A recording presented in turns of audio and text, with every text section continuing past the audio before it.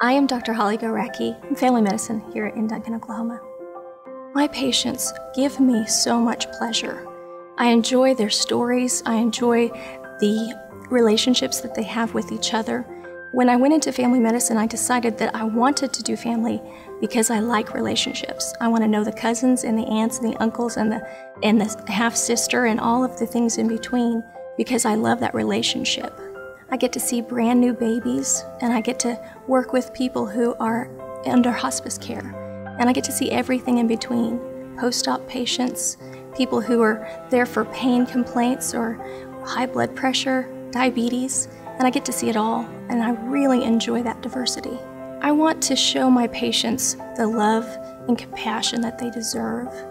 I want them to see that there is a, a piece of me that is like Jesus. I want them to know that I strive every day to be like Christ.